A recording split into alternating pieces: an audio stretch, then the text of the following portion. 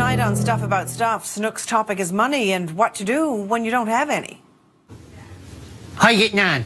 You know, I've been thinking about money a lot lately. It's always a kind of a drag sort of subject, but you got to have it, so, you know, important. Now, most times I got no money. Bummer. Especially when lots of knobs seem to have so much of it all the time, which always makes having nada so much worse.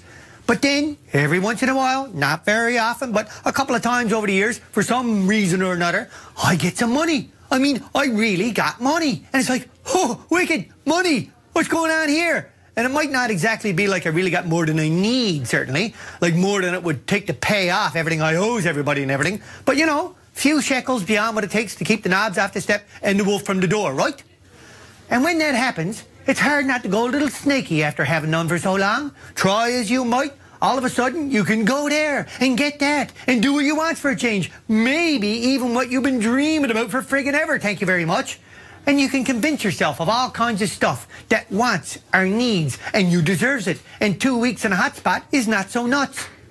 But guaranteed, believe you me, there always comes a day, don't take too long usually, that you wake up and says, oh crud, what am I after doing here now? Sure would be nice to have some of that back. Can't pay no back taxes with a tan, right? So you go lean cuisine after the holiday scene in, cut the cable, fire on the mac and cheese substitute, hop on the wagon. Drastic measures to be sure. Cut the clock to fit the suit, like you can afford a suit. Nobody's happy. All hands crooked. Most want to boot you and your debt crows out of the house.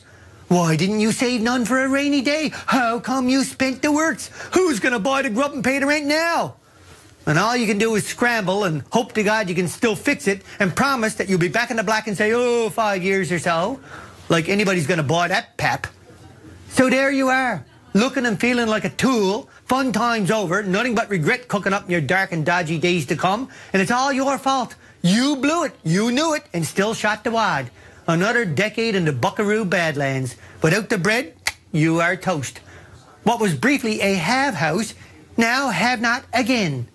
Sad, really. Moral to the story? Fool and his money soon parted.